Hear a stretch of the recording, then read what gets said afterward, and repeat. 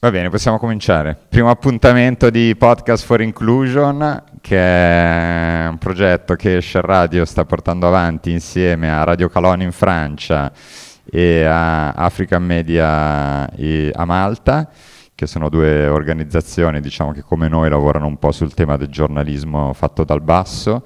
Radio Calone è molto simile a Share Radio come esperienza, lavorano tanto con i ragazzi in periferia e, mh, mm, cominciamo questa serie di incontri pubblici che fanno parte anche di un percorso invece con un numero di iscritti chiuso.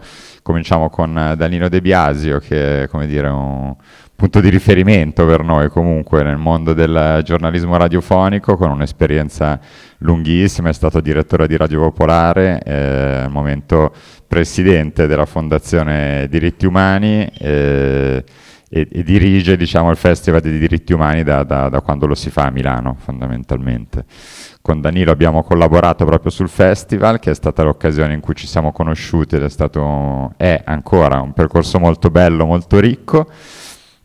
E, mh, mm, aggiungo giusto un'altra cosa che è un po' fuori tema, però avete trovato sulla sedie un volantino del crowdfunding che stiamo portando avanti, crowdfunding civico, quindi se arriviamo al 40% della cifra totale che dobbiamo raggiungere, il restante 60% lo mette il Comune di Milano e l'obiettivo è allestire 4 cargo bike con impianto audio, pannelli solari, pedalata assistita da mettere, tra l'altro una proprio qui, una all'isola da Share Radio, una... grazie. una in Stadera eh, e un'altra a Bisceglie al ciclo hub di Comunità Nuova l'idea è che queste cargo siano a disposizione di chi vuole fare cose in città, per cui dalla festa alla conferenza, al cinemino, al compleanno, vale tutto, al trasloco, perché no, comunque è un mezzo di trasporto che ci permette di spostare anche pesi.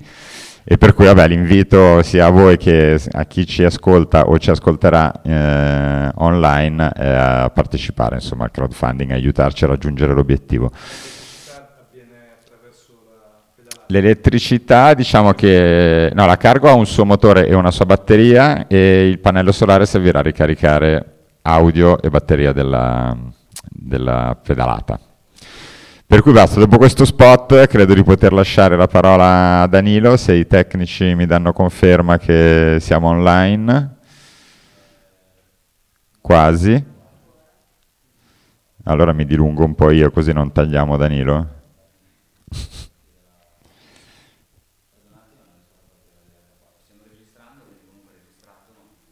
Allora, adesso facciamo così, diamo la parola a Danilo e vengo a smanettare. Va bene, grazie Danilo di essere qua con noi e grazie anche a voi di essere arrivate. Ah, vado con questo? No, ho già questo. Quale, quale devo usare? Tutte e due? Vai. Vado? Mi sentite? Sì, vedete, siamo a un metro di distanza. Quindi questo lo spengo? Sì. Va bene. Direi di sì, grazie. grazie. No, grazie a grazie a voi di essere qui presenti perché eh, lo dico per chi ci sta sentendo fuori onda, prima di questa chiacchierata mh, ho chiac parlato con alcuni di voi e devo dire che forse eh, sarebbe quasi più interessante che voi veniste al mio posto a raccontare quello che volete fare. Io non ho ancora capito bene, lo dico a Share Radio, se poi alla fine come dire, rispetterò le, le, le, non le priorità, diciamo così, desiderata di, di, voi che siete qui presenti, perché mi hanno detto fai una lezione su radio e diritti, con, partendo da, diciamo così, le basi del giornalismo radiofonico, che è una cosa un filino diversa dal podcast, che oramai è un termine molto di moda, ma che è, diciamo così, il primo mattone da cui partire, quindi probabilmente quello che vi dirò potrà essere utile.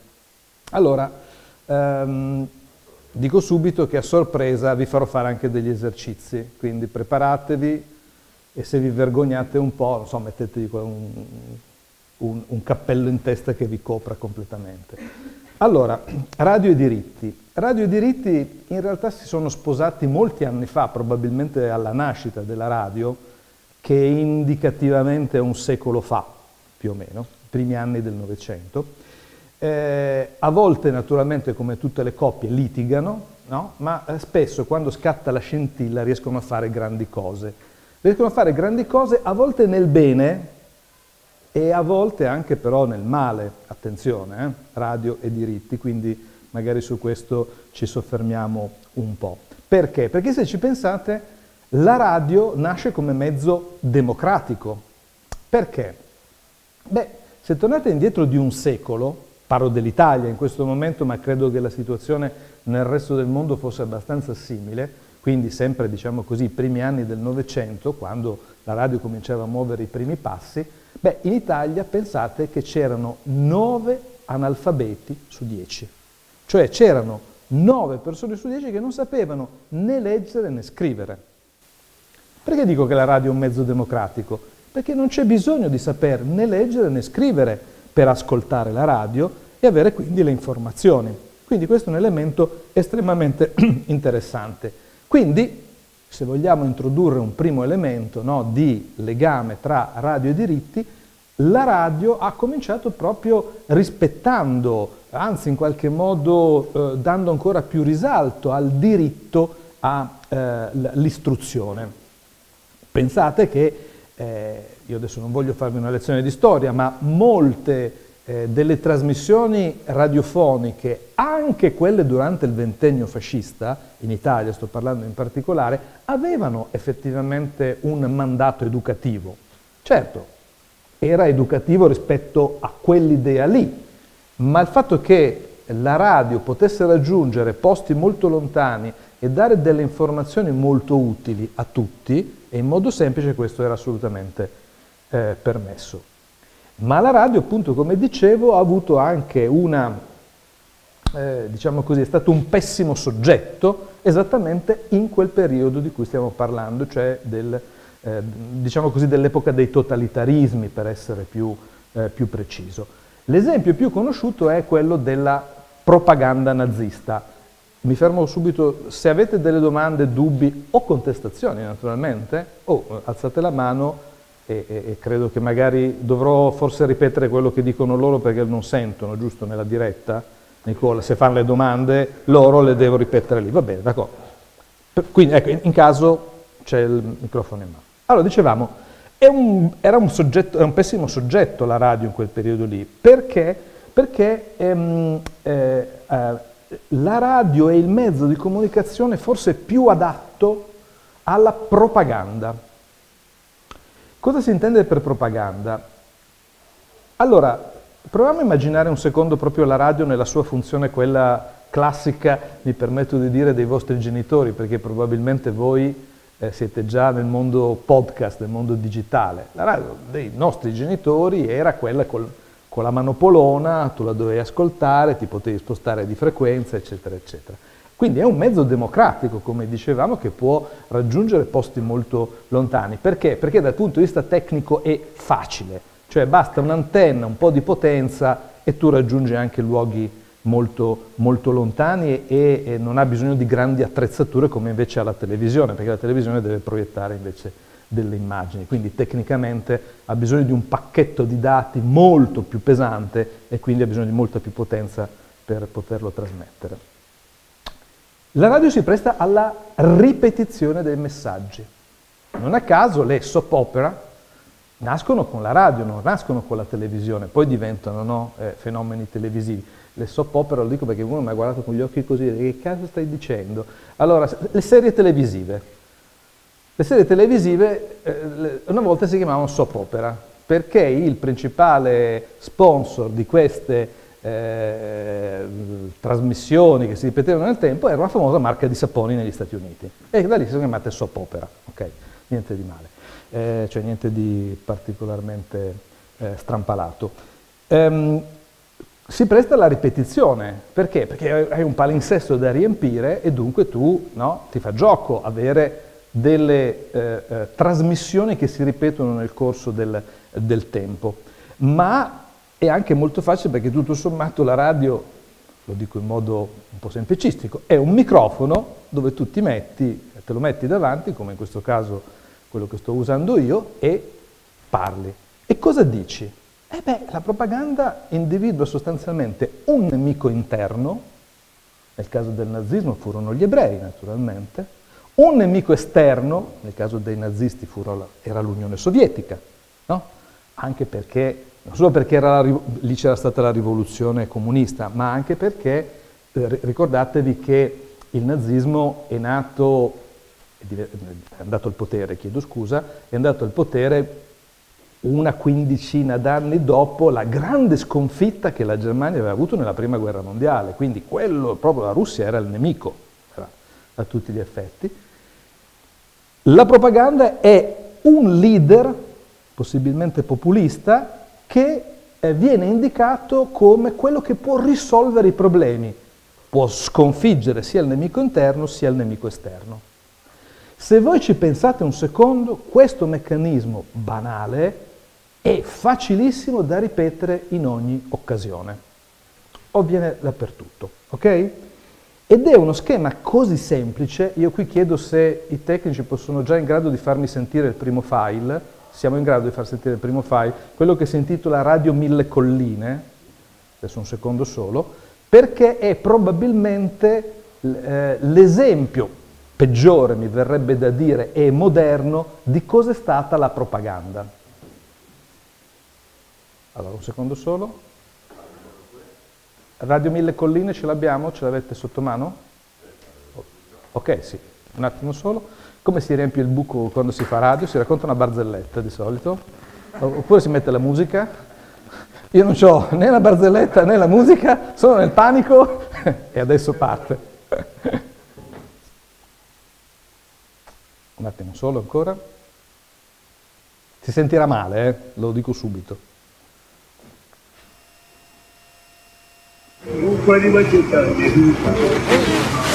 Ultimi bake cyane ndetse nubwo twabariyaga ku ijana ku icumi ku ijana ubwo basigara umunani ku ijana abo bantu se koko muze twishime nshuti inkotanyi zashize muze twishime nshuti yewe imana ntirenganya imana ntirenganya koko sfumare pure perché era giusto. tanto non lo conoscete il dialetto eh, dei, dei, dei, ehm, degli Utu e quindi è difficile. La cosa importantissima però di questo frammento di radio è che questo è un frammento originale. Eh, stiamo parlando del Ruanda 1994, sì, 1994, in 100 giorni sono state uccise probabilmente tra i 500 e un, 500.000 e un milione di persone. Non so se vi rendete conto. In 100 giorni dai 500.000 a un milione. Non si saprà mai la, la cifra precisa perché oramai molti resti ovviamente non ci sono più. Cosa successe? Successe che eh, la maggior parte delle vittime erano Tutsi, che erano una minoranza all'interno eh, del Ruanda, indicativamente il 20% circa della popolazione del paese africano. I massacratori erano invece sia parti dell'esercito, sia milizie, sia letteralmente i vicini di casa, Tutsi, che sono la maggioranza, ehm, Utu, chiedo scusa, che sono la maggioranza, Dio mio, la maggioranza del paese. Non so se sono, spero di non essere stato io la maggioranza del paese.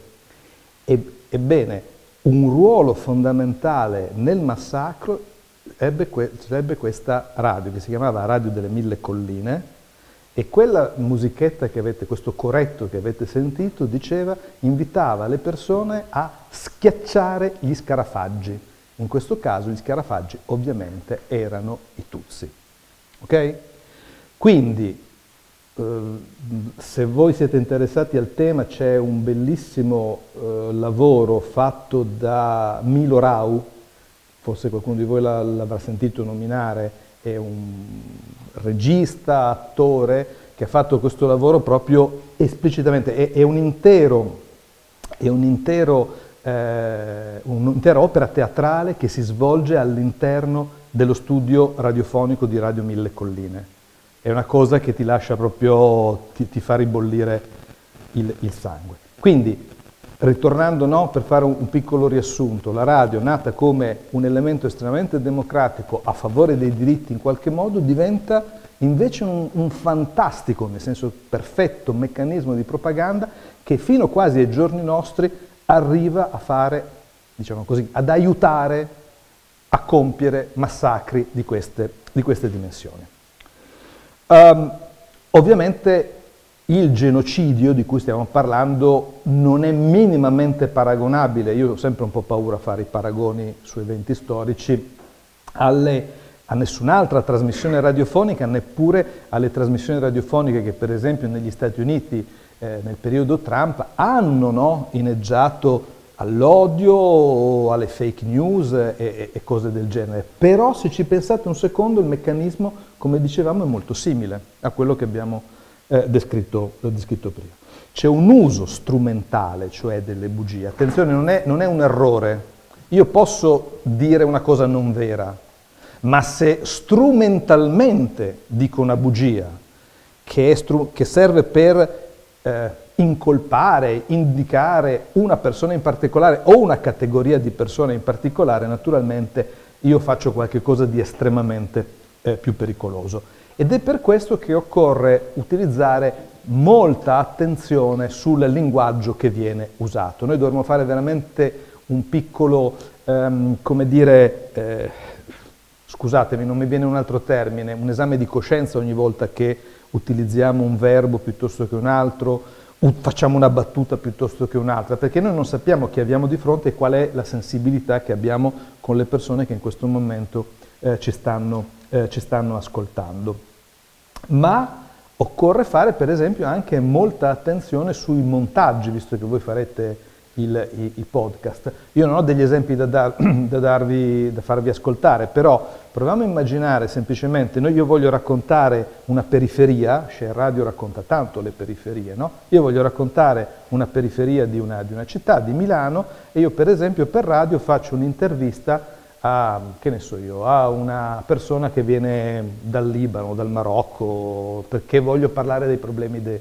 eh, dell'immigrazione. Se io poi nel montaggio, una volta dire, fa, fatta questa registrazione, ci metto in sottofondo il rumore del mercato, dove magari ho fatto questa intervista, oppure lo monto sopra artificialmente, è un'immagine, un'immagine, un'immagine radiofonica di una conversazione che avviene normalmente. Provate a immaginare se ha lo stesso effetto se nel montaggio che io faccio poi dopo ci metto sopra, per esempio, ci metto sopra o sotto, secondo il punto di vista, il canto del muezzin. E beh, quell'intervista che sto facendo a questo signore arabo, probabilmente, ah, guarda qui il muezzin, stanno arrivando con il minareto più alto della nostra campanile, ah, qui bisogna stare attenti. Ci vuole poco. L'intervista è la stessa, il montaggio fa cambiare il linguaggio e quindi anche il messaggio che tu in qualche modo vuoi dare. Um, cioè il montaggio in qualche modo dà una versione falsata dei fatti, la, la strumentalizza. L'altro elemento che, su cui bisogna stare attenti, non capita naturalmente nei podcast, ma nelle trasmissioni radiofoniche invece sì che accade, è l'uso strumentale che si fa dei, eh, delle telefonate Potrei intrattenervi ore su come si usano le telefonate o i messaggi in questo momento, perché naturalmente in epoca social le telefonate non hanno più quel ruolo così rilevante che avevano un tempo, adesso contano molto anche i messaggi. E tutti voi sapete, non c'è bisogno che ve lo dica io, di quanto i messaggi dipendono molto anche dagli algoritmi che tu, che, che tu chiedo scusa, che gli strumenti Facebook piuttosto che altri eh, utilizzano. E quindi anche quelli servono, le telefonate servono a confermare dei valori dei messaggi che tu vuoi far passare. La trasmissione che rappresenta il male assoluto è la zanzara di Radio 24, dove eh, siamo in diretta, lo diciamo, la parte peggiore non è Cruciani ma l'altro perché è la foglia di fico di un'operazione ideologica pericolosissima. Eh, io vi vorrei far sentire, se possibile, un pezzetto, eh, è una trasmissione, vado a memoria perché io l'ho usata per, una, eh, per, un convegno che avevo fatto credo addirittura nel 2017, eh, però vale la pena di sentirla se, se riusciamo. Cagare dentro i cassoni di un camion che trasportiamo alimenti eh. e lui li difende, il tuo amico lì. No, non solo li difende, ma pensa che i camionisti siano tutti no, ignoranti, ma, ma ignoranti spesso, mai, spesso maneschi, ma spesso maneschi sessisti. Se li vedi, se li vedi nei Lo hai detto prima, ma non ho detto niente, è diffamazione, belle buone. Che neanche Dio Cristo lo sa dove prendono i soldi sta gente, a rubare. Spartac, dove, dove lavori di solito Spartac?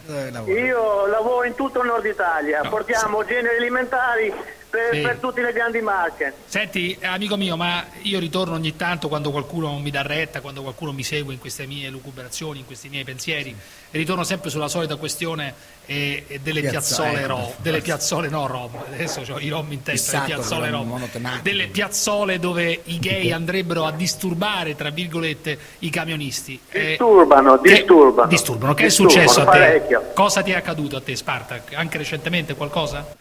No, recentemente no, però tipo ti vengono, ti fanno delle gesta, chiedono non so che cosa, ma eh, chiedono, sono gente che, che non, per me non lo so cosa vanno a cercare. Ma io che vanno è... a cercare? Sesso? Ma eh... non lo so, non è... Io, ti è, quando ti è successo? Io sono della vecchia maniera, mi piace la figa. Ecco, no, vabbè, d'accordo, Spartaco, quello non c'era bisogno di, di condividiamo no, la stessa passione. Di entrare però, nel merito. Eh, cioè, proprio, eh, beh, non, li sopporti, non li sopporti questi omosessuali che no, vengono. No, io cioè, non, non, non ho niente contro di loro, lo pensano così, però delle volte disturbano, mentre uno magari ha lavorato tutto il giorno. Sta dormendo. A, a dormire, eh, sono sempre lì che... Che, che bussano, bu- ma qualcuno tira fuori l'uccello? Pure. Ma può, può darsi anche, io non, non, li ho visti. A te non è successo. Vabbè, amico mio. No, Ciao, eh. Spartak, sempre in gamba, Ciao, mi raccomando sul camion. Eh. Te, mi raccomando, all'attacco, sempre all'attacco. Sempre all'attacco. Non mollare mai, from Albania, non mollare. il camion, intanto non deve mollare il volante. Intanto non deve mollare il volante. Improvvisamente ti piace l'albanese. Ogni tanto, l'albanese integrato, sì, integrato, onesto, onesto. Quando c'è un crimine di qualche albanese si dice ecco gli albanesi che commettono. Gianni da Modena. Fammi sentire Gianni, dai, forza. Ok. Perché questo? Allora, questa è una, una storia che a me è capitato di sentire proprio per questo seminario che dovevo fare all'UNAR, la, l'Ufficio Nazionale Anti, Antirazzismo.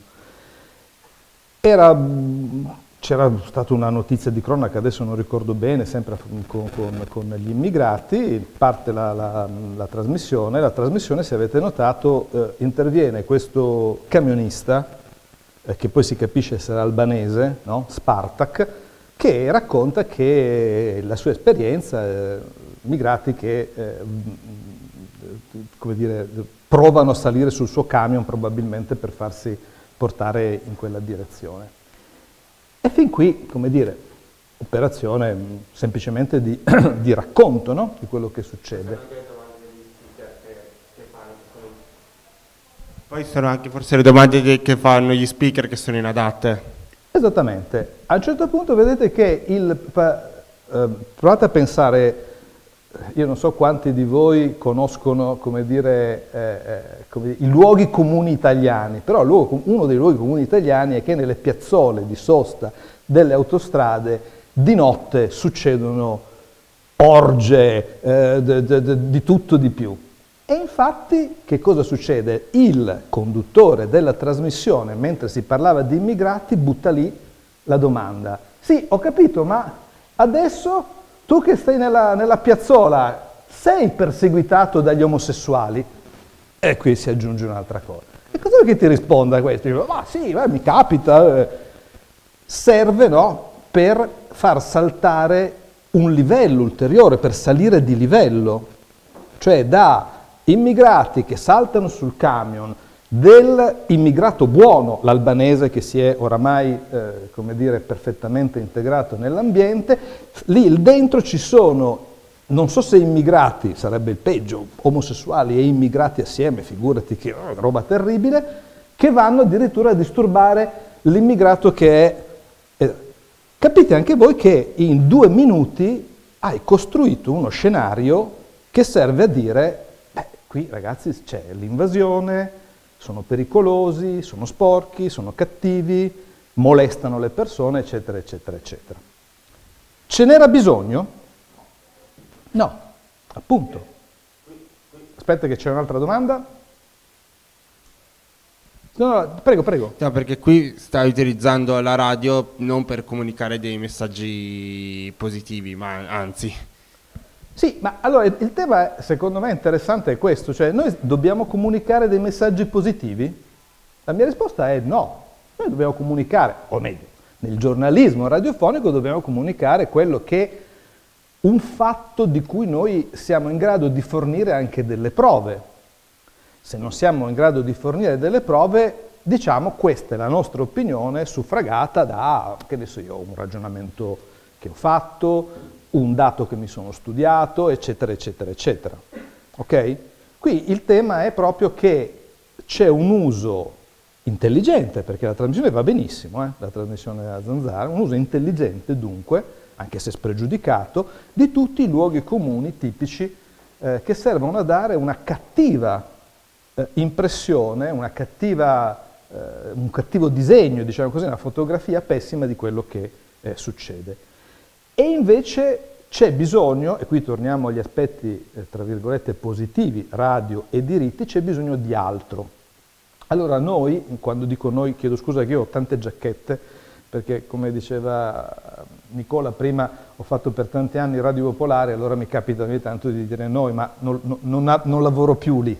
E quindi è. Però noi come Radio Popolare, permettetemi di dire ancora questo, uno degli ultimi lavori che ho fatto, eh, insieme a Radio Popolare, siamo andati in Europa a fare un vademecum insieme a sette radio europee, un vademecum sull'uso eh, del linguaggio giornalistico. Eh, ciò che vale per la televisione, per, vale per la radio, vale per la carta stampata, poi cambiano i mezzi, però diciamo così, le regole del buon giornalismo sono, sono le stesse. Allora io ve le leggo velocemente perché poi bisogna passare ad altre, ad altre cose. Um, bisogna scegliere scrupolosamente il linguaggio perché ogni parola può avere conseguenze. Eh, ne abbiamo avuto un esempio no? nella trasmissione della Zanzara, e beh, se eh, parliamo di froci è diverso che dire omosessuali, se parliamo di stranieri è diverso che dire immigrati. Eh, io racconto sempre questo aneddoto che mi è capitato durante la prima intifada, eh, ero andato a, a, seguire la prima intifada eh, e, e, mi ricordo che c'era in, eh, un'edicola di Gerusalemme vedo un giornale piegato dove c'era scritto il termine massacrati. Era il periodo in cui c'erano diversi morti palestinesi, era il Gerusalemme, era il Gerula, Gerusalemme scusa, Post, che è un giornale conservatore, diciamo così, allora lo compro per vedere, sarà clamoroso. La notizia è che erano stati massacrati 20.000 polli in un kibbutz israeliano eh, in un attentato fatto dai palestinesi. Cioè il termine massacro era stato utilizzato per l'unica volta per i polli. Capite anche voi che eh, si poteva utilizzare anche in altre situazioni, invece hanno deciso di utilizzarlo in questo, in questo contesto. Bisogna rendere comprensibile, l'altro punto che, che individuavamo, era rendere comprensibile la complessità senza banalizzare o generalizzare. Se io voglio parlare dei fenomeni migratori, eh, io devo dire che è una cosa maledettamente complicata. Non, non, non, posso dire che è una passeggiata, non posso dire che tutto è eh, facile, sotto controllo, eh, eccetera. Ok? Si tratta però di rendere le eh, informazioni che noi diamo le più comprensibili possibile, per esempio con degli esempi. Scusate il gioco di parole, funziona però l'esempio, no? È successo questo. Oppure fare delle eh, come dire, eh, eh, fare dei confronti. A volte serve. È successo questo e come se. È un modo per capire. Qua, allora, eh, parlando di linguaggio, vi sarà capitato qualche volta di dire ehm, eh, in questo momento, nel 2022, sono stati consumati 100.000 ettari di suolo. Quant'è un ettaro? Eh, mm. bravo, non si sa, neanch'io lo so. Quindi se tu dai la notizia, eh, qualche, lei ettaro, che è un modo di dire quanto misurano i campi, io non ho la più pallida idea di quanto sia. Dunque si fa un confronto, no? si prova una similitudine. Quanti campi da calcio? più o meno tutti sanno che il campo da calcio è bello grosso, no? Diciamo. Prego, fare un esempio. Eh, però ti devo dare il microfono. Senza microfono. Ma no, almeno chi, chi poi ascolta ce lo stiamo mandando. Proviamo, proviamo. Vai, vai. Ehm, come quando è salito Salvini, Sì. quanto aveva contro gli stranieri, ehm, soprattutto sugli stranieri ricchi, quelle cose lì, potevamo scrivere come per dire Salvini sta facendo le stesse cose, stesse cose come stava facendo con gli ebrei, facendo esempio. È provocatorio. Eh, Eh, eh, sì. No, hai ragione. Allora, eh, io ho sempre paura di eh, fare dei, dei- avere dei riferimenti storici così impegnativi. Cioè, secondo me la Shoah ha una, eh, un valore in termini numerici, scusatemi la banalità, ma anche in termini ideologici per tutto quello che noi abbiamo costruito intorno enorme. Eh, se tu mi parli di genocidio, io intendo esattamente quello che si intende dal punto di vista del diritto, cioè la, eh, tu- gli- tutti gli- eh, mettere in atto mh, eh, mh, dal punto di vista ideologico, poi dal punto di vista pratico, l'uccisione sistematica di minoranze.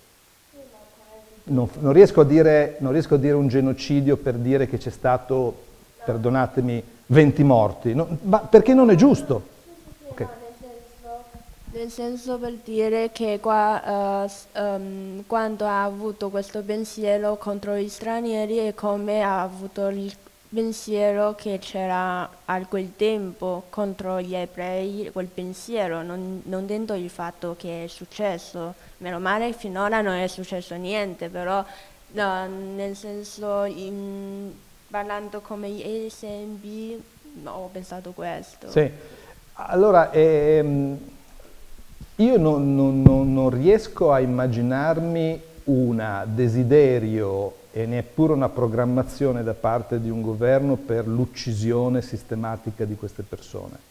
Io penso che abbiano in testa anche questo governo che esistono delle persone di serie A e delle persone di serie B e le persone di serie B hanno meno diritti delle persone di serie A, questo sì, però non riesco a mettergli in testa anche un desiderio omicida, ecco, questo no. Sì, prego.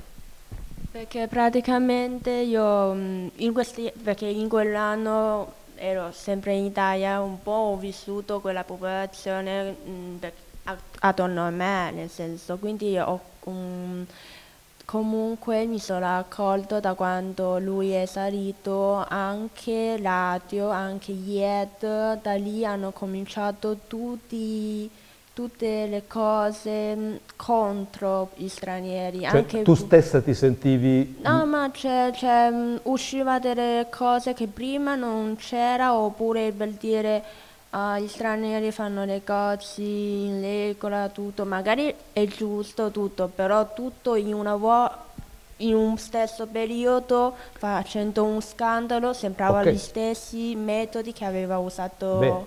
Quella volta. Però tu ti sei sentita minacciata io- personalmente? Io personalmente non sono proprio un straniero, quindi però le persone accanto a me sono sentite minacciate e sono anche avuto paura, cioè nel senso, perché nel senso tutto il mondo intero sta dicendo ah siete da- oppure andavo su tram, vedevo un straniero che doveva sc- scendere da tram e un italiano la minaccia- minacciava perché Ci sono degli stati episodi. così. Ok. Eh, E vedi che è interessante secondo me il punto di... perché poi dopo quando partiamo dalla nostra esperienza forse è anche più chiaro eh, che cosa intendiamo. Io andrei avanti perché sono già le, le 11, ok? Ehm, quindi appunto eh, spiegare la complessità ma non banalizzarla, fondamentale. Fornire un adeguato ventaglio di punti di vista. Allora, eh, ma che c'è bisogno di avere mm, l'opinione di chi la pensa così e di chi la pensa all'opposto. Questa è la cosiddetta par condicio. Follia totale. Dal mio punto di vista follia totale, non serve a niente, perché allora se io intervisto il procuratore nazionale antimafia devo anche intervistare Totorina, è, è, proprio, cioè, è, è, concettualmente sbagliato. Voi sapete che la par condicio è nata perché durante il periodo in cui Berlusconi era del, la prima volta Presidente del Consiglio si era posto il problema che Berlusconi, essendo proprietario delle reti televisive, aveva un potere di condizionamento dei mass media che nessun altro poteva avere e dunque si è introdotta questo meccanismo che allora doveva essere di eh, equilibratore ma che è diventato, che poi è stato a sua volta strumentalizzato appunto. No? Eh, quindi dare più punti di vista non significa dire una cosa all'opposta dell'altra, ma significa fornire appunto eh, una serie di valutazioni diverse, il più possibile, e poi ci arriveremo, ehm, come dire, supportate da prove. Contrastare appunto la falsificazione dei fatti o i discorsi d'odio. Questo è importante quando voi fate radio soprattutto, quindi non tanto podcast che sono registrati, ma quando fate radio in diretta, non dovete contrapporre la vostra opinione con quella di un ascoltatore o di un ospite che non la pensa come voi. Non è un problema di contrapposizione. Voi dovete fare delle domande, dovete chiedere spiegazioni, dovete avere i dati in mano per dire ma guardi, non mi risulta, succede, eh, eh, c'è un altro fatto. Cioè, insomma, in poche parole, voi dovete, o, o viceversa, c'è una persona che la spara grossa, dice una fake news, scusi, ma lei dove l'ha trovato questo dato? Non, non è vero, te lo dico io. L'atteggiamento non deve essere quello, ok? Ma deve essere quello, mi dà le prove di quello che sta dicendo? Ok? Mm? Um, quindi bisogna precisare e naturalmente anche qui, in questo caso, per esempio, mettere a supporto degli esperti, degli esperti che però devono avere la competenza, non devono essere... Insomma, durante questa guerra in Ucraina abbiamo visto alcune trasmissioni televisive dove abbiamo invitato, perdonatemi, cani e porci, cioè chiunque aveva letto eh, il dottor Zivago poteva andare in onda a, a, a, a, dare la dimostrazione di conoscenza della cultura russa e tu dici no aspetta fermati un attimino, ok? Questi sono esattamente sono un'estrema sintesi perché abbiamo un'ora a disposizione adesso e quindi devo andare un po' veloce, ma naturalmente sono pronto alle domande. In generale le, le regole di, buon, di, buon, funzionamento, diciamo così, che vi ho dato, a me sembra che siano di buon senso e soprattutto dovreste provare a, a mettervi davanti ad uno specchio e dire ma vorrei essere trattato così io? Se la risposta è sì, Vorrei che eh, eh, di fronte a una obiezione qualcuno mi dica porta l'obiezione fammi capire dove l'hai trovato, fammi capire i dati, eccetera. Ecco, questo è un atteggiamento che funziona. Non funziona l'atteggiamento appunto persecutorio, l'atteggiamento da fucile puntato pregiudiziale. Ok? Per, se volete fare podcast, perché ho capito che molti di voi vogliono fare i podcast, mi sembra di aver capito, bisogna avere una buona conoscenza del linguaggio hm, che noi stiamo utilizzando, su cui abbiamo fatto già qualche, ma dobbiamo saper bene usare, dobbiamo sapere anche utilizzare molto bene i mezzi a nostra disposizione. E questo è il prossimo esercizio che vi propongo di fare, del prossimo file che chiedo di far sentire. Prima però, appunto, sul linguaggio, io non, voi siete, mi state guardando e quindi state, state, guardando anche il linguaggio del corpo che utilizzo io. Però se avete notato, eh, io non solo gesticolo, come fanno il 99% degli italiani, quindi non è un problema questo, ma cosa faccio? Vado a volte più veloce, a volte più piano nel linguaggio, a volte faccio delle sottolineature col tono della voce, a volte mi fermo, a volte dico delle parolacce che ogni tanto funzionano. Questo è un modo, se ci pensate, per tenere viva la vostra attenzione ed è esattamente quello che voi dovete fare anche quando fate un podcast. Se io parlassi sempre così, con questo tono di voce, senza mai fermarmi un secondo, senza le punteggiature, il podcast sarebbe anti- noioso da sentire. Uno, la radio, regola 1 della radio, non si può avere il silenzio. Non è vero. Se non c'è il silenzio, non c'è la voce. Io mi sono fermato adesso per fare questa sottolineatura. Se io avessi parlato velocemente senza mai fare eh, probabilmente avrei rispettato la regola del vietato il silenzio, ma voi non avreste capito nulla dell'importanza delle cose che stavo dicendo. Ok? Cassetta degli attrezzi. Vi propongo di ascoltare, sono tre minuti se non sbaglio, i folletti, circa, no? più o meno, vado a memoria. Adesso vediamo se questa signora, che ha un bellissimo cane. Ciao Chico. Ecco, molte volte troviamo i cani, che sono l'antifurto e l'allarme della, della, della signora. Signora, buongiorno. Una gentilezza, signora. Per caso, signora Bataggia, voi siete clienti della Folletto? No, no, no, no. Non è cliente? No, sono a posto con No, tutto. no, ci metterebbe, Sono signora. a posto con tutto. Non abbia paura. Ho un mucchio di... Di, di, Di aspirapolveri. Di asp- aspirapolvere, di scope elettriche, luci Perché non prova il nostro, signora, che è leggero? Signora, perché non prova il nostro che è leggero? Non No, cavaria un mucchio di roba. No, posso spendere da un'altra parte. Eh, no, cavaria spendo sul folletto. Inizialmente anche gli amici mi dicevano, guarda, madonna che lavoro. Loro lavoravano, chi alla San Benedetto, l'acqua, chi alla Priglia, chi alla Montedison, chi, chi aveva lavori molto più sicuri. Oggi invece hanno poco lavoro, sai. O addirittura sono a casa in cassa integrazione. Io ti dico, siamo fortunati noi che facciamo questo lavoro qua. Se lei mette una mano, come si chiama di nome signora? Elga, Elga. Elga. Non che tira su niente? Così. Infatti io non lo uso più perché uso solo questo. Sì, ma per quello questa non va usata se nei tappeti, questa. Questa andrebbe usata. Allora, questo è stato un eh, podcast, no, eh, qui fischia tutto, mi sa che non so quale dei due, forse devo spegnere questo? Ok. Allora, se io tengo il, il microfono qui, io non faccio un podcast così bello, ok? Perché? Perché nel momento in cui cammino, dov'è che sta il microfono? Davanti a me. E perché deve stare davanti a me? Deve stare qua.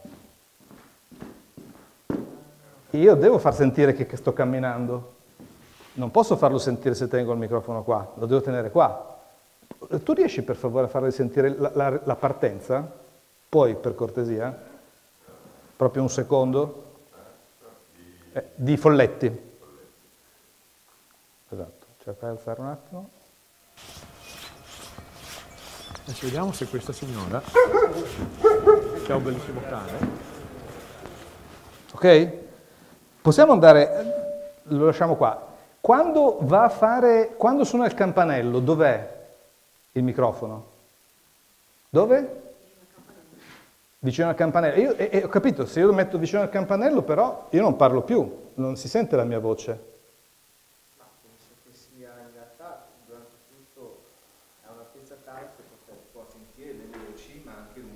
Quindi ha un lavalier come il mio, secondo te? E quando parla Elga, cosa fa? Parla così, dice Elga. No, c'è un microfono che riesce a, a percepire anche quello. Ma la qualità del suono che ho io quando sto parlando così non è la qualità del suono che arriva da te, che stai parlando a due metri di distanza. Ma dipende, infatti la, la voce della signora era un po' di sottofondo. Non sempre. Quindi probabilmente non aveva un lavalier. O... Ah, il mezzo fucile. Eh, però in mezzo al fucile si, si vede, nel senso che la, la signora non, non è lì per prendere il folletto, ma per registrare quello che venga fuori folletto. Sì, sì, certo, no, ma questo è un podcast fatto assolutamente, non è, non è nascosto, eh, questo. No, assolutamente, no, no, no, no, è un no, una roba del genere non puoi farla da nascosto. Probabilmente un mezzo fucile, non escludo che avesse anche lui un, come si chiama, un lavalier. Però la cosa importante, riusciamo a, a mandarlo avanti ancora un po', tanto giusto così lo teniamo in sottofondo poi vi dico io cortesemente di alzarlo. Scusatemi se vi uso come...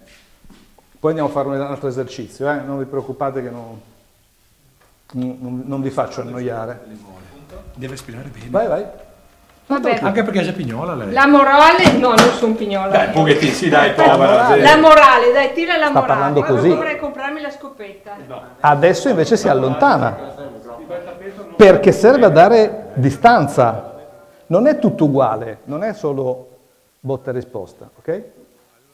C'è un certo in punto... 15 anni poi- è diventata più esperta. Cioè la gente oggi è più timorosa No, negli acquisti. questo è il pensiero. Certamente ha più paura È il pensiero di spendere dove... E soldi, dunque... spendere 1000 o 2000 euro. La gente Ed si è in un posto chiuso, non è più nella villetta con i cani che abbaiano. Io ho dato l'idea di essere qua perché sto pensando. che il prodotto che noi vendiamo non è una spesa folle, ma è una Sì, sì, necessità. Signora Elga, ogni quanto sei che Aspetta, lava per terra lei qua? Tutte le settimane. Era apposta lo Qui è consiglio. lontano. Elga. Elga. Per piacere. Questo è un pezzo di carta normale. Senti qua però. Il problema della Elga, scusa Elga, non è tanto la polvere e basta. C'è dell'unto, anche a casa mia. Si tratta che la nostra cliente Da questo se ci pensate. Drin, signora, dove sei? Ah, sono qua, ecco, venga, mi faccia entrare. E la telecamera intanto che ti segue. E il signore col mezzo fucile probabilmente che ti sta seguendo, ma ogni tanto deve rimanere fuori campo, perché se no io non capisco che la signora Elga è là, che sta rispondendo al, tele- al- al microfono, al citofono. Io ho bisogno che si senta da lontano e che la mia voce si senta invece da vicino, perché se io lo metto in mezzo, perfettamente in mezzo, scusa, ti uso perché sei qui in prima piana, no? È chiaro che non si, non si percepisce la, la distanza. Siamo in mezzo, abbiamo la stessa tonalità. Invece lì ogni tanto lei deve essere lontana e io devo essere in primo piano e viceversa. Ok? Tutto questo l'avete capito da soli senza bisogno che qualcuno ve lo spiegasse, perché è stato molto bravo. Scusami, mi sono, mi sono dilungato e quindi mi sono perso la tua domanda. Si può dire che eh, il podcast è intervallato da fasi anche narrative? Cioè, le- Assolutamente sì, Ok. che vengono fatte appunto con il suono deve essere diverso, non è più un microfono in mezzo alla campagna, ma realisticamente da quello che ho potuto intuire si sono chiusi in una macchina, Cioè la parte dove lui racconta... dove lui pensa, Lui- sì. racconta, eccetera, eccetera, è quella. E quella parte può essere scritta oppure improvvisata, tra virgolette? Ogni podcast è diverso, questa parte qua secondo me aveva molto senso che non fosse scritta, aveva molto senso che fosse, eh sì, la mia vita è quella, mi sono sposato, poi qui sai la crisi, bla bla, non era una parte scritta. Ok? Però no- adesso io non volevo entrare più di tanto nei montaggi perché probabilmente poi sono share radio che inviterete Jonathan Zenti, dai. Porca miseria, eh, così. Esercizio, se non ci sono domande. Vi va? Avete freddo? No. Benissimo. Allora, mi andate fuori lì un secondo per 5 minuti di orologio, 5 non di più, e tornate e mi descrivete cosa vedete? Lì fuori. Quella parte lì. Sì, è que- freddo. Eh, ok? Però ho 5 minuti, eh? Perché poi dopo guardate che sono già le 11.20 e quindi... Eh?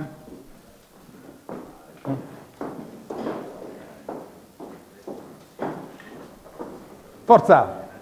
Via! Adesso l'aula è vuota, come facciamo? Facciamo la diretta qua, io continuo a parlare per eh, sei ore? Abbiamo un'immagine qua. Ok? Andiamo a vedere dove va, andiamo a vedere come vanno.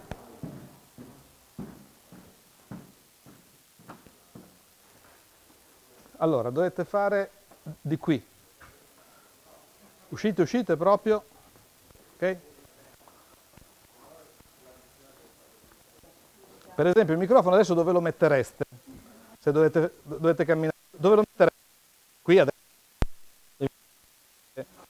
Perché dovete sentire. E poi a un certo punto è diverso il suono che avete qua, no? Dal suono che poi trovate, per esempio, camminando là fuori. Se- senti che è già suono di con le foglie, eccetera, eccetera. Ok. Allora, proviamo a vedere qua. Ecco, qua. Noi eravamo dentro, giusto? Eravamo dentro lì. Quindi ciascuno di noi in qualche modo vede un solo fatto, che è questo, questo spazio qua. Noi non ha- cioè, possiamo dire che questa è la notizia ed è unica, no- no- non c'è possibilità di... E adesso sta a voi decidere, quando tornare dentro, descrivere in 30 secondi di orologio, 30 secondi, eh, che, cosa, che cosa dovete raccontare questo fatto. Il fatto è il parco. Ok? Basta. Li ho mandati in crisi probabilmente. Aiuto. È un gioco ma fino a un certo punto. Ok? Mamma mia, si è, si è raffreddata. Uh. Uh. Uh. Allora, chi vuole cominciare? La cosa importante secondo me è che una micro regola del giornalismo, la notizia che è appunto il mattoncino no, da cui partire, il primo mattone, la prima pietra, è un breve resoconto di un fatto. Ok? Provate a, eh, eh, a tenervi in testa questo, un breve resoconto di un fatto. Breve perché siamo radio, eh, resoconto significa che tu non ti limiti ad andare lì a guardare, ma provi a trovare il modo migliore per raccontarlo, quello più efficace, per farlo eh, capire ad una persona che non ha assistito allo stesso fatto.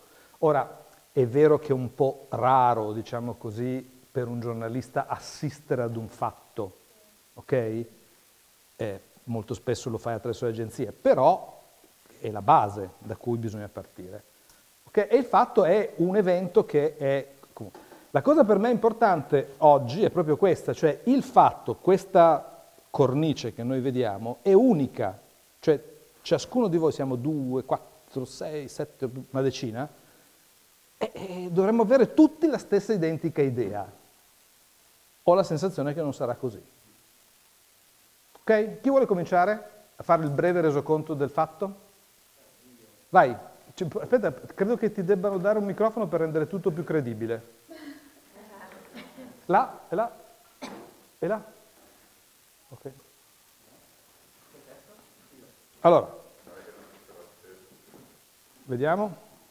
Dunque... Eh... No, dunque no. Buongiorno. Sì, buongiorno. Eh, durante il, uh, il, il, corso diciamo, di Share Radio, a un certo punto della lezione siamo usciti, cioè il professore, la chiamo professore, Fai, fai, fai. Eh, ci ha invitato, l'esimio, l'esimio, l'esimio dottor, eh, ci ha invitato a, ad uscire per fare un breve resoconto del fatto. Eh, siamo usciti, chi con giubbotto, chi Sai con... si è già addormentato? Sì. Si è già addormentato uno? Sì. Fatto, raccontami il fatto. Siamo usciti, eravamo un po' infreddoliti, eh, non sapevamo esattamente cosa dover fare.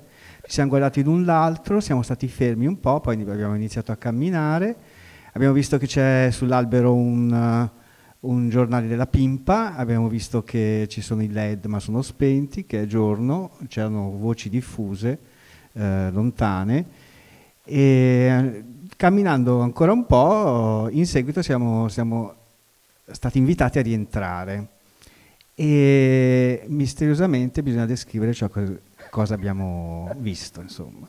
Va bene, ok. Ci siamo? Eh, sì. Però adesso dobbiamo vedere gli altri cosa hanno capito. Vuoi passare tu il microfono? Ah Sì, appunto, ti sta passando il microfono per... Um, buongiorno. Um, um, quando professore ci ha chiesto... Non so come si chiama. No, come si chiama. Aspetta.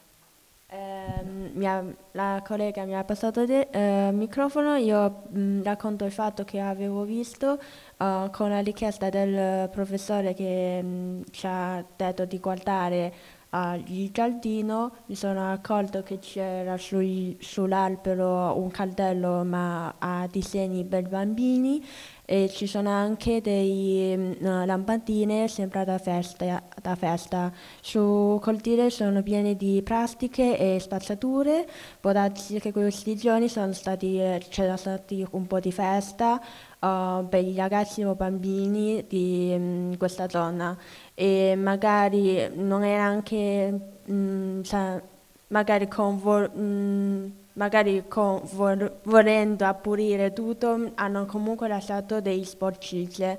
E vedo anche il caldello delle macchine buttate per terra, che non sembra um, buttato um, per, la, cioè, per via di macchina, uh-huh. sembra buttata a mano delle persone e quindi sembrano che stato, c'è stata anche un po' una festa incasinata in questa zona.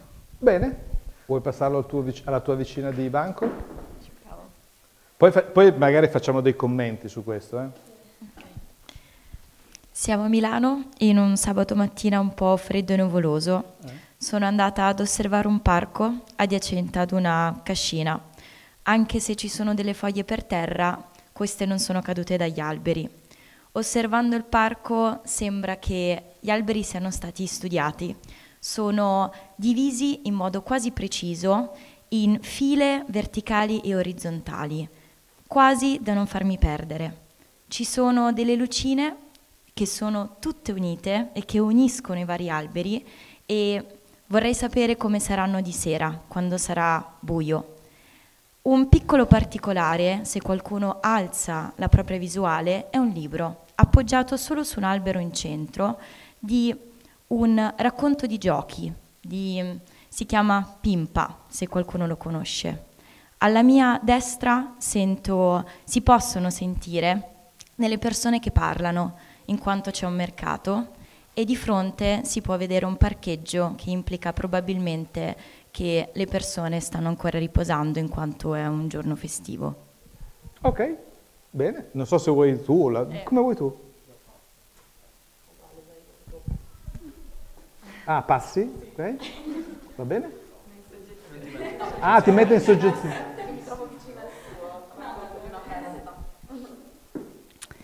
È una mattinata fredda di novembre, a destra ci sono delle persone che affrontano eh, la brezza gelida per, per andare al mercato e davanti a noi ci sono delle auto ferme. Mentre osserviamo il libro dal titolo Un giorno di giochi mh, incastrato in un albero che sembra essere malato e a terra mh, notiamo una- quella che sembra essere una corona di, un- di una festa di compleanno gettata da qualche bambino, una macchina parte e poco dopo suona un telefono. Ok, ottimo. Qui redazione Radio Portami con te, siamo qua a Mare Culturale, è stato avvistato il libro della Pimpa intitolato Giorno di giochi e inoltre si pensa che ci sia stata una festa, luci sugli alberi, cartacce per terra, è stato un rave party? Mandiamolo subito, chiamiamo subito la polizia. No, no, io in realtà mm, Ha avuto un momento sì, di io mi panico. sono assentata, Eh, quindi eh, esatto. non so se è il momento dei commenti, ecco, magari faccio i commenti, altrimenti dopo. Sì, sì, dopo facciamo... Ci proviamo. Sì, proviamo. Buongiorno, oggi è un sabato mattina nella Milano grigia. E come grigio è il suo asfalto e le sue monocromatiche macchine. Ad un certo punto un cortile verde. Tra i rami, un tra i rami di un albero c'è la pimpa con il suo sole e il mercato artigianale che con le sue voci interrompe il grigio di una Milano. E basta. Ottimo. Adesso tocca a te, poi chi c'è? C'è- tu? Chi manca? Ok? Riesci a passarlo davanti il microfono? Grazie. Allora, un sabato mattina di novembre all'interno di una cascina siamo andati a vedere un parco dove è stato avvistato un eh, libro della, della Pimpa, ehm, un parco diciamo, dis- disordinato con, eh, con foglie e spazzatura per terra. Basta così. Perfetto. Breve. Chi manca? Ok. Mm, no- no- non lo sai ancora, sei indecisa. Sei indecisa. Vabbè, poi dopo vediamo se ti riusciamo a convincere. Prego, scusa. Ci troviamo a ridosso di una, cas- di una cascina vicino a un parcheggio. Gli alberi sono connessi da varie lucine. Uno di questi eh, vede appoggiato un libro della pimpa. A terra ci sono- c'è una coroncina di plastica, qualche bicchiere, tutti presupposti per una festa di una piccola famiglia. Eh, basta. Ok. Dai, che ce la facciamo! Allora, io Vai. documenterei che Sì. siamo, siamo usciti dal mare culturale urbano e abbiamo, abbiamo passeggiato attorno a un'aiuola che a sua volta è circondata da un condominio, un mercato, immagino, di quartiere e tutta un'area che si può dire di periferia. perché Sì? è abbastanza spenta, nel senso che tolte le persone al mercato non ho visto nessun altro fuorché noi. E il libro della pin- pimpa in mezzo a un albero. Bene, ottimo, grazie. Allora, e- e- erano tutte molto belle, eh, funzionavano tutte, però avete notato che ciascuno di voi ha raccontato qualcosa di diverso, o meglio, per essere precisi. Tutti avete raccontato una cosa molto simile, ma con degli accenti molto diversi. Eh, scusami, tu che eri in fondo mi dici il tuo nome per cortesia. Kim, ecco, per esempio, quasi giornalismo narrativo. Milano è grigia, grigia come l'asfalto, grigia come le macchine, cioè, hai capito? No? È una roba da giornalismo eh, narrativo, non è come dice lui, io sono andato fuori, ho visto quella roba lì, tac, tac, tac, no? Era... C'è chi era molto dettagliato Esatto. chi invece ha cercato di semplificare Esattamente. l'immaginario per... Ma infatti non c'è secondo me un modo giusto o sbagliato per raccontare questi fatti. Dipende naturalmente che tipo di podcast o che tipo di giornalismo voi volete andare a raccontare. Allora, un giornalismo un po' narrativo come quello tuo, un po', un po' intimista, no? diciamo così, è chiaro, è dato, il racconto che tu hai fatto è dato per un podcast un po' intimista, un po', adesso ti racconto un po' come la vedo io questa città. Lei sembra un urbanista, invece mi dici il tuo nome, scusa? Marta, Marta è un urbanista, cioè quello, poi il condominio, la periferia, la via, no? È quasi, è quasi no? Eh, capito? Allora, io non so dirvi qual era giusto e qual era sbagliato, secondo me tutti andavano bene, no? Dipende cosa voi volete andare a raccontare, il contesto in cui, in cui siete. Questo è l'altro elemento fondamentale. Per un notiziario... Da come comunica uno, uno speaker. Non ho capito. Aggiungere anche dal modo in cui comunica uno speaker. Sì. Io faccio un esempio, faccio un regista a, a. Ah, ah, devi prendere il microfono che non so dov'è. Ah, ecco, grazie. Voglio fare un esempio, che faccio? Speaker e regista qui a, a Share Radio, ho, come quanto regista ho a che fare con speaker molto di- differen- diversi tra di loro, non solo per cosa vogliono raccontare nel loro programma, ma anche per il modo in cui loro parlano, in cui loro comunicano le cose. C'è chi è molto sintetico, come esempio me, oppure anche un altro speaker, quelli The Voice, e c'è chi invece va molto lento, molto lungo, come ad esempio eh, lo speaker Matteo che fa un programma dove fa delle interviste ad altre Certo. persone. Certo, esatto. Ok, quindi appunto a seconda del programma che voi andate a fare, a seconda del podcast che voi volete fare, è chiaro che ci può essere un registro, diciamo così, diverso rispetto a un altro. Tu hai fatto per esempio anche col tono della voce, no? Eh, Chi- Chi- Chiara, ma, ma- eh? Irina, vai, scusa, ho fatto un casino. Chi è Chiara? Tu. Eh, vedi, c'era una Chiara in giro.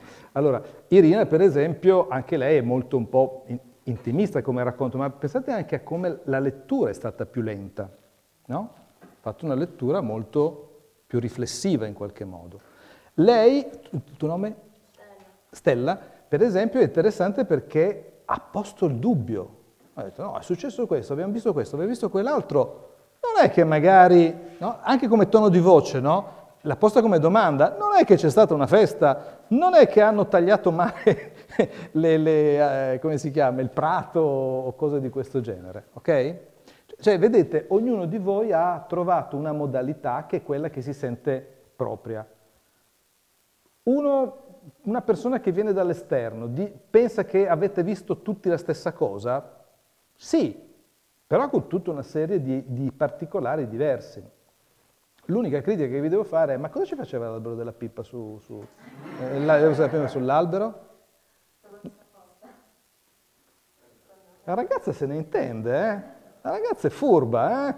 Esatto, l'abbiamo messo apposta proprio per dire ma questi lo vedranno o non lo vedranno che c'è un albero della pimpa, eh, c'è un libro della pimpa eh, sull'albero? Punto di domanda. Prego. Urca. Scusa, La cosa d'ora. che secondo me è da notare è che tutti hanno visto, cioè c'è un elemento che eh, accomuna tutti, ovvero aver visto l'albero del- il libro sull'albero, che però ciascuno ha visto qualcosa di diverso, quindi la narrazione è diversa ma è uguale in alcuni punti. E, Concordo. Cioè sono dei particolari, diciamo così, diversi. Esatto. Alcuni però si sono spinti oltre appunto come, con la domanda, che dal punto di vista giornalistico funziona, no? Funziona a dire, "No, no, no, ho visto questo, questo, questo. Chissà che cosa c'è stato. Immaginiamo che, per esempio, può funzionare come modo. Sì, è, è un po' come nella fotografia che la prima cosa che si narra è che ciascuno ha la propria visione, il proprio angolo ed è unica da quel punto di vista. insomma. Assolutamente sì, sono d'accordo con te. È, è come una fotografia. Però sai, anche qui vai col teleobiettivo, vai col grandangolo, Sì. ti soffermi, eh, fai la macrofotografia, cioè eh, Sì, sì, sì, sì. cambia anche poi quello che tu vuoi raccontare e gli strumenti che utilizzi per raccontarlo. eh. Chiarissimo. Cioè se tu sei per esempio in guerra, è una cosa che continuo a contestare alla narrazione che viene fatta della guerra in Ucraina in questo momento da parte di tantissimi giornalisti, tantissimi, è che, parliamoci chiaramente, tu in guerra sei di fatto embedded, cioè sei embedded, cioè sei eh, collegato direttamente, dipendi direttamente dagli eserciti che ti portano in un posto o nell'altro, a seconda naturalmente del proprio interesse a raccontare un fatto piuttosto che un altro. ok? Quindi quando tu racconti la guerra in Ucraina o in Ucraina, non so mai dove sta l'accento, in realtà racconti un pezzetto di quello che vedi e molto spesso un pezzetto di quello che ti vogliono far vedere. Allora io non dico che è sbagliato, dico che è sbagliato pensare che tu stai raccontando tutta la guerra, no, tu devi dire io sono andato qui e ho visto questo e ho visto questo perché mi hanno portato a vedere questo. Se l'hai detto, perfetto, io non ho niente da contestare quello che tu dici.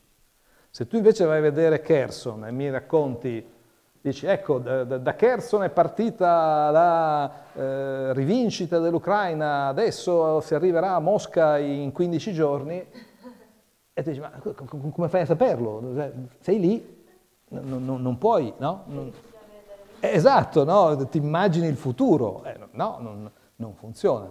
mm? È corretto dire ehm, ho visto questo, se le cose stanno così è probabile che siamo di fronte ad una vittoria, un'avanzata dell'esercito ucraino.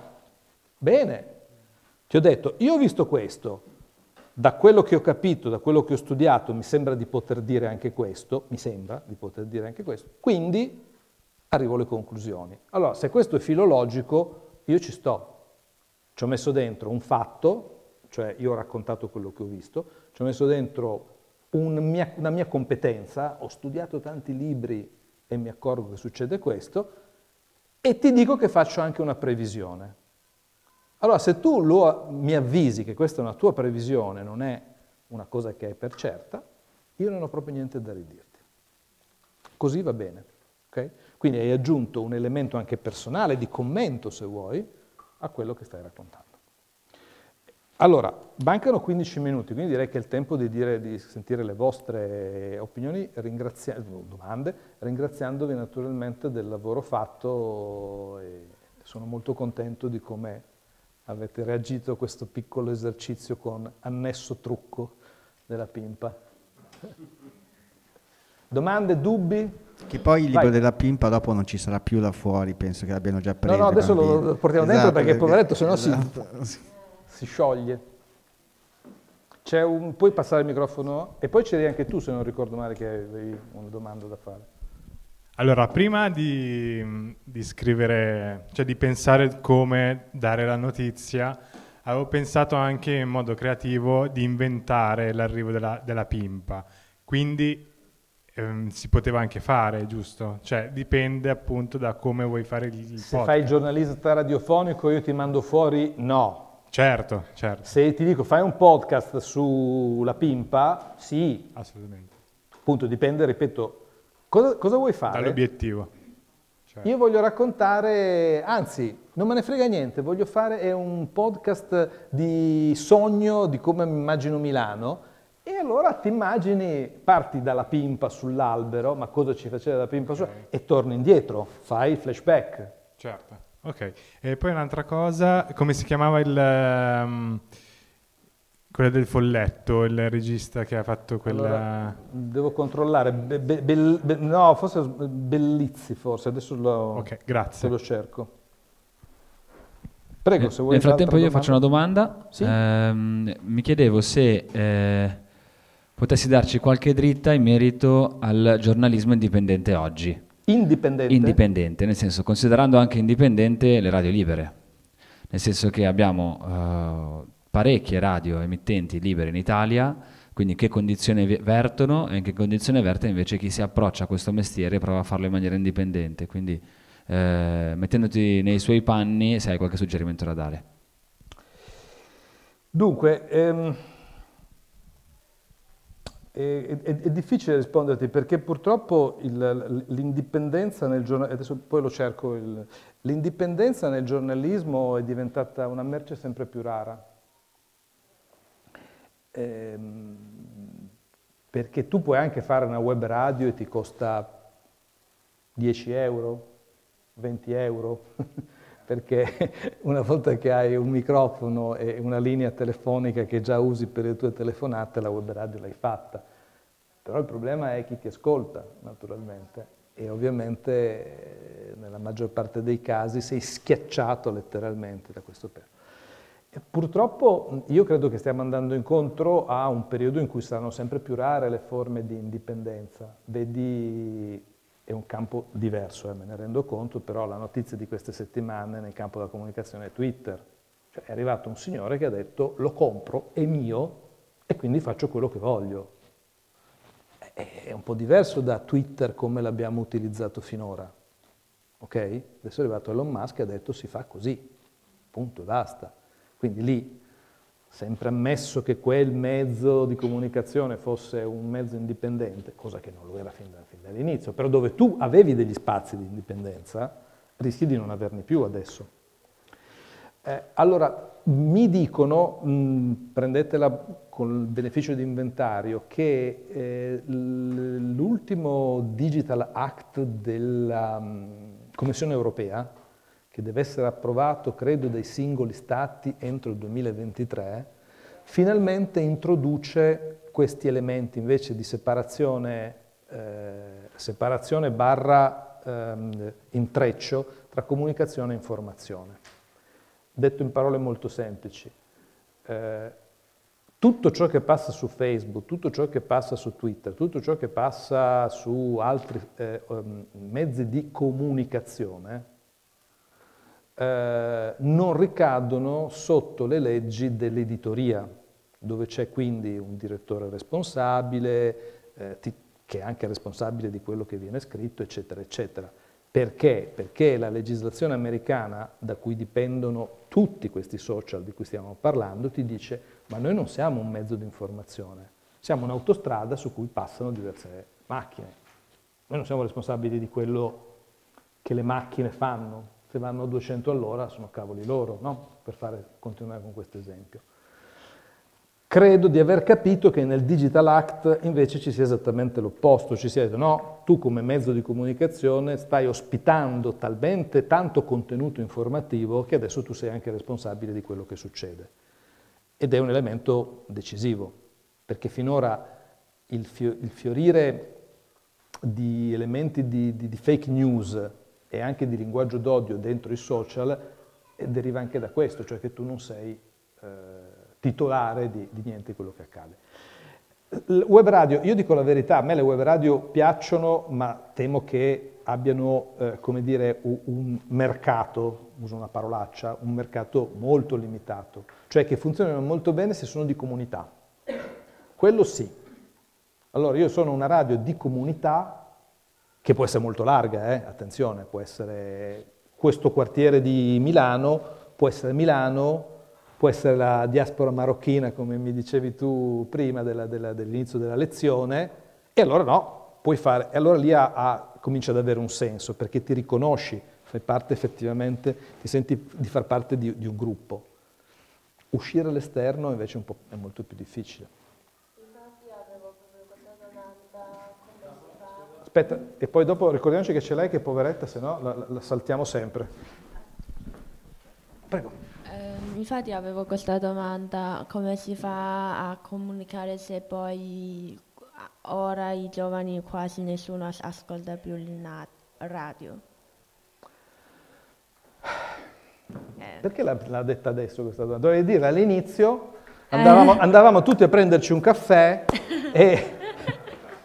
Aspetta che porto... do la- e hai, hai ragione, cioè la radio... Chiedo scusa, prendilo tu perché sennò poi dopo non, non ti parleremo mai, non ti daremo mai la parola. No, hai ragione, nel senso che è vero che la radio è uno strumento che viene considerato, eh, diciamo così, oramai da, da boomer in qualche modo, però eh, i podcast sono per esempio un fenomeno molto eh, frequentato anche dai ragazzi, i podcast. Eh, io faccio- facevo fino all'anno scorso, adesso continuo a fare poco, la scuola di giornalismo, insegno la scuola di giornalismo di- della statale e molti ragazzi che sono persone più o meno tra i 23, 24, 25 anni, quelli che vengono di solito a fare il master da noi, eh, quasi tutti insomma, hanno, asco- hanno ascoltato podcast. Ascoltano molto podcast, ecco per esempio eh, anglosassoni, inglesi o americani, questo sì. Io ho più difficoltà invece con le lingue e quindi ascolto poco, non, non riesco a, a seguirli bene, però per esempio c'è una- un uso enorme di podcast americani perché effettivamente poi dopo le serie più interessanti sono nate lì. Adesso poi sono molto diffuse, non- però cioè, un fenomeno come Serial è stato quello che ha dato il lancio a tutto, a tutto questo cinema. Prego. Ciao. Però in realtà sono passate diverse domande dopo, e Sì. qui avete già risposto, quindi Ah. grazie. Quindi è stato ampiamente, era il commento sul vostro ehm, racconto, no? Anch'io ho trovato diversi stili, registri diversi a seconda della- del, proprio, del proprio, insomma, vissuto, della propria personalità. Poi anche la domanda, avevo anche la domanda poi è stata fatta sul giornalismo indipendente, io quindi in realtà poi salutarvi perché poi avete già risposto a tutte le, le- le- le- domande, ma in realtà adesso quest'ultima eh, domanda mi ha, mm, Sì. mi ha aperto un'altra riflessione, sì, sulla differenza tra radio, radiogiornalismo e podcast, perché sono completamente due strumenti, io li trovo diversi. Eh, uno è più sensazionalismo dalla notizia, è immediato, no? Forse Sì. mi sbaglio, il podcast No, no. è più di approfondimento, quindi vado io tematicamente a scegliere l'argomento. Io sono un'appassionata per esempio di crescita personale, quindi le mie scelte sul eh, podcast vanno direttamente su questo tema. Raramente riesco a trovare una- un- un- delle puntate di radiogiorn- radiogiornalismo su questo, quindi proprio, stiamo parlando di due, eh, di due mm, canali diversi pur avendo lo stesso canale radio. Eh, c'è da vedere gente, quanti ragazzi siano disposti a, mm, da capire quanto i ragazzi siano disposti a, a, mm, a scegliere il podcast perché io mi ritrovo delle volte con la mia generazione, ma anche la generazione, ad esempio, di mia sorella più giovani, che non hanno tempo. Quindi perché? Forse perché con i tempi sempre più veloci, dettati da una velocità anche eh, non solo dell'attenzione, quindi poi si allarga proprio a un discorso anche di attenzione dei giovani sui social e quindi anche sulle piattaforme, di quanto vogliono investire il proprio tempo per approfondire determinati temi, mentre io che appartengo sì, forse ai boomer, eh, sono disposta a, perché mi interessa quel tema, e ci vado. Altri giovani, eh, mh, parlo di mia sorella perché lei è- incarna la giovane de- di 24 anni, 25, e dice "Eh, io non, ho tempo per eh, ascoltarmi un podcast, piuttosto mi ascolto il notiziario o comunque qualcos'altro che abbia una durata di eh, pochi minuti. Quindi questa è la mia riflessione da fare, forse a conclusione. Non so se... Allora, ehm, è chiaro che il, ehm, il giornalismo radiofonico eh, è, ehm, è diverso dal podcast in quanto tale, ma se tu non conosci il giornalismo radiofonico, secondo me non ti riesce poi così bene il podcast. Cioè il podcast secondo me in questo momento eh, ehm, è...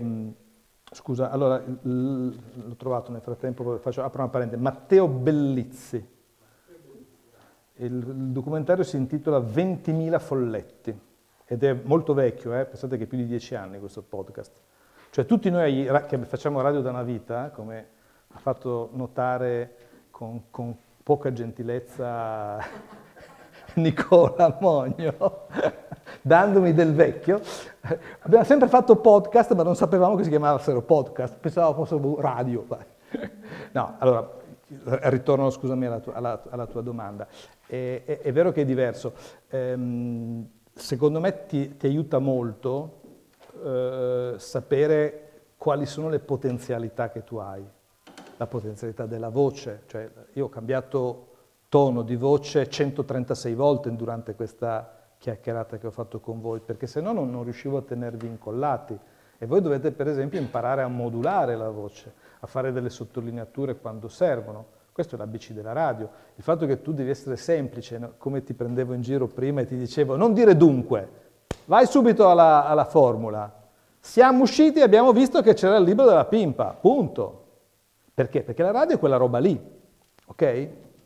Devi fare un podcast così? No, però tu lo sai che quello che rimane in testa è proprio un flash, è proprio un'immagine, è proprio un suono, non è l'insieme.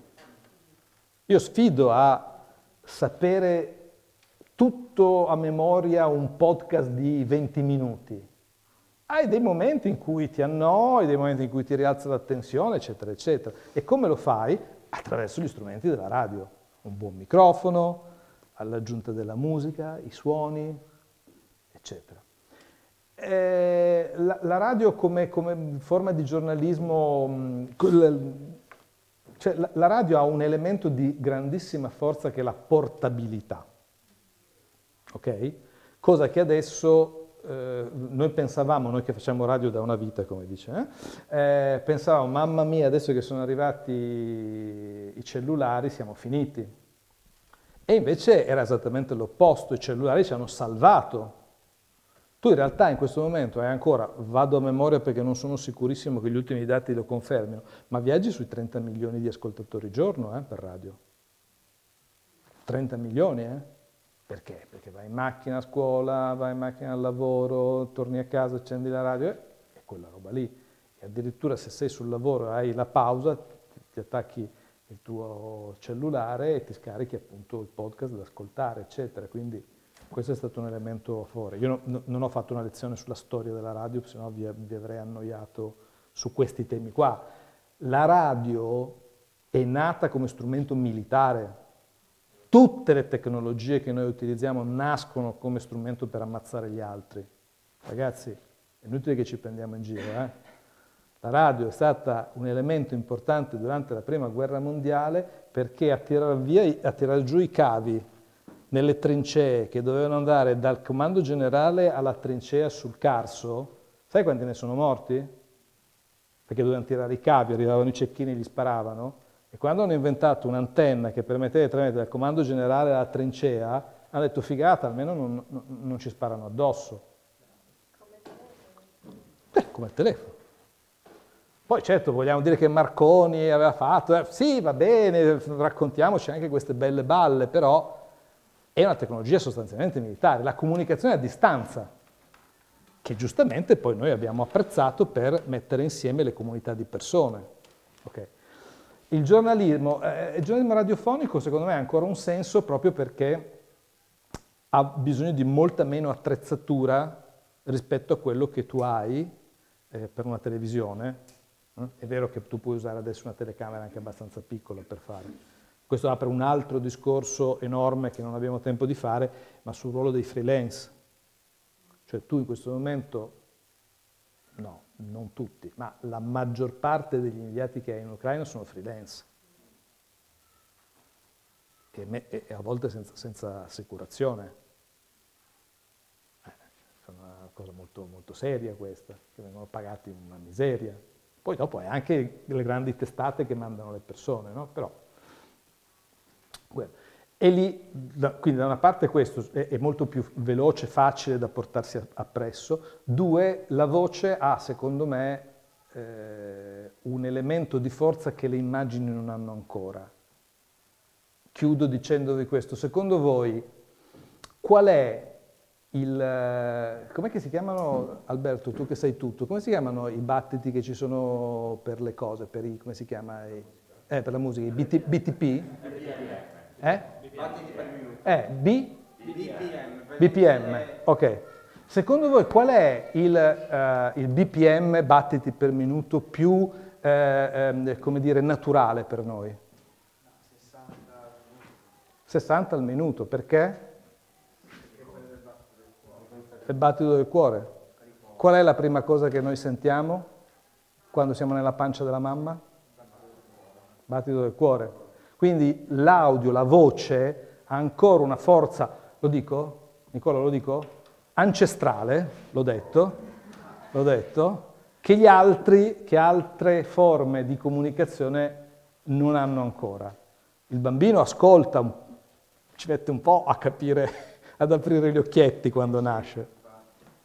L'audio invece, il contatto naturalmente, ci mancherebbe però quello. 12.05, ma ho sforato. Dovete a dirmelo. Esatto, che professionista sono? Eh, buh. È perché non iniziate il Ah, grazie. Alberto, un premio per Alberto. Grazie, no, se ci sono altre domande, bene, se no vi, vi lasciamo andare. Sì. Ah, ce n'è anche un'altra, ecco.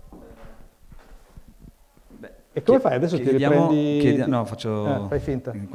Eh, chiediamo aiuto in qualità di giovani intraprendenti radiogiornalisti sui suggerimenti sulla durata di un servizio radiogiornalistico. Cioè io trovo la notizia, la notizia funziona, io non ho ancora un contatto a cui proporre la mia notizia, devo scegliere la durata del mio lavoro con l'auspicio che qualcuno se la prenda. Notizia o, o podcast? Il servizio, quindi un podcast, decidiamo, Ah, pensiamo che sia un podcast. Allora, eh, c'è un, un vezzo, eh, nel senso che è una, è una convenzione, eh, non so- secondo me non ci sono prove scientifiche, che la durata media dell'attenzione di una persona è intorno ai 60 secondi, 70 secondi. I servizi della RAI, modello storico, RAI radio, duravano 70 secondi, venivano fatti, quindi un minuto e dieci.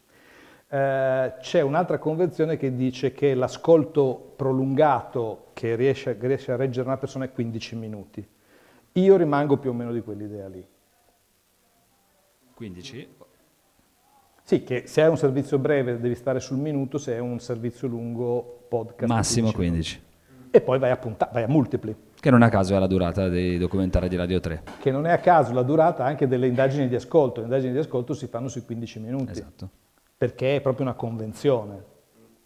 Io consiglio. Dopodiché la prima cosa che ti rispondono chi produce podcast è non ce ne frega niente della durata, perché se il prodotto è bello va bene anche 20 minuti, però non, non saprei dire.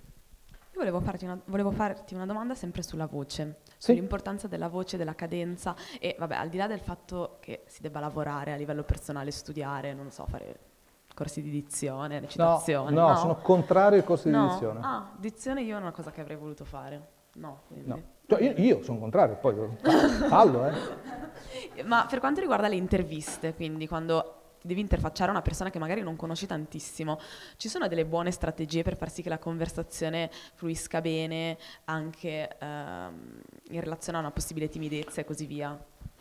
Allora, sulla voce io l'unico consiglio che vi do è registrarvi ed ascoltarvi. Registrarvi ed ascoltarvi, registrarvi ed ascoltarvi, registrarvi ed ascoltarvi, no corsi di dizione. È bello che la tua voce sia lombardo-marocchina. Non è bello che sia tutto impostata così. Cioè non è, non è naturale, ok? Eh, sulla, mm, i trucchi, allora dipende naturalmente il contesto. Io tendenzialmente quando devo fare un'intervista che so può essere un po' lunga, comincio a registrare subito. Io registro subito. Accendo il registratore, ah, beh, ah, ti vedo bene, ah, interessante. ah. Dai, dai, adesso però cominciamo l'intervista. Come, come vuoi che ti presenti? Ma preferisci che ti presenti così, ti presenti colà? Ah, ok, d'accordo. E poi comincia l'intervista, perché di solito il tono della voce, l'ambien- l'ambiente un po', diciamo così, amichevole o perlomeno familiare aiuta un pochettino. eh. E, e- poi la, la- la regola base del giornalismo è avere la seconda domanda. Cioè, tu ti, ti presenti con le tue domandine, eccetera, no? Così. Poi arriva questo e ti risponde in un modo che tu non ti aspetti E devi avere la prontezza di dire, ah ma allora dice così? Ma sei proprio sicuro? E vai avanti. Ovviamente se devi fare un'intervista che ti serve per il famoso un minuto e mezzo di cui un minuto e dieci di cui parlavamo, no, niente di quello che ti ho detto è valido. È buongiorno, avrei bisogno di fare un'intervista con lei, guardi, è un minuto però. E ti assicuro che nessuno sa quanto dura un minuto. È proprio una regola matematica. Tendenzialmente sei tre minuti e mezzo e quattro più o meno. Ah, È un po' lunga. Tre volte tanto quello che ci siamo detti, ma veda un po' lei, no? Per esperienza, confermi? I- i- programma, poi faccio intervista per Matteo, per un'intervista, dovrebbe durare 45 Eh. minuti, a volte dura un'ora. Eh, vedi. Prego. Ma guarda che ci cacciano fra un po', eh? Volevo sapere se secondo lei, Te. secondo te, ehm, in un momento in cui, come dicevamo, un po' tutti, magari con pochi soldi, possono fare radio, possono fare podcast, ha ancora senso la differenza tra fare radio e fare radiogiornalismo? Oppure chiunque si può dire radiogiornalista? Cioè, Allora, perché è la- vero che... Scusa. È vero che il radiogiornalista dovrebbe seguire il codice, insomma, la deontologia professionale, però ho la sensazione che nel momento in cui c'è un allargamento così ampio, quindi un po' tutti lo possono fare, un po' tutti sfuggono al controllo de- de- de- appunto delle norme che dovrebbero seguire, quindi chiunque si può improvvisare radiogiornalista. È difficile nel pratico fare la distinzione tra chi lo fa a livello professionale e chi lo fa inventandosi radiogiornalista la mattina. Hai due ore di tempo per la risposta? Devo farla all'inizio anch'io forse. Eh, mi sa di sì. Allora, è, è un enorme problema che stiamo anche affrontando noi come ordine dei giornalisti, Ehm, perché è perfettamente vero, è vero quello che tu dici, cioè che eh, oramai i giornalisti con la tesserina in tasca, per intenderci, sono probabilmente una minoranza rispetto a tutte le persone che fanno comunicazione, che è una cosa leggermente diversa dall'informazione. No? Dopodiché la radio, per come è fatto il mercato italiano, ma a occhio e croce direi anche a, un, po', in tutto il mondo, la parte di intrattenimento, musica, show, diciamo così in generale, è preponderante. E lì gli elementi, come dire, del giornalismo c'entrano fino a un certo punto, ci vuole molta onestà, ma non è che devi necessariamente seguire le regole deontologiche ed etiche del giornalismo. Ci stiamo domandando se i comunicatori, appunto, le persone che magari hanno un blog, non necessariamente fanno la radio, devono invece rispettare queste regole.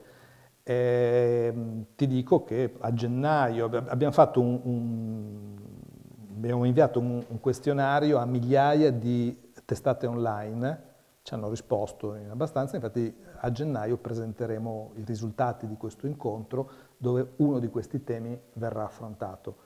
Due giorni fa abbiamo approvato come ordine dei giornalisti un, un cambiamento di un articolo della legge istitutiva dell'ordine, proprio immaginando che almeno eccezionalmente in questo momento eh, possa diventare giornalista praticante anche appunto persone che non hanno la tessera, che non hanno eh, diciamo così, le possibilità di fare, purché abbiano, siano pagate, abbiamo fissato un limite, e purché se non, sono, non lavorano in una redazione, perché l'altro grande tema è che nessuno lavora più in una redazione, sono tutti freelance che lavorano da soli, possano essere seguiti da un tutor, deciso dall'ordine dei giornalisti, e debbano fare dei corsi di deontologia. Questo come giornalismo radiofonico.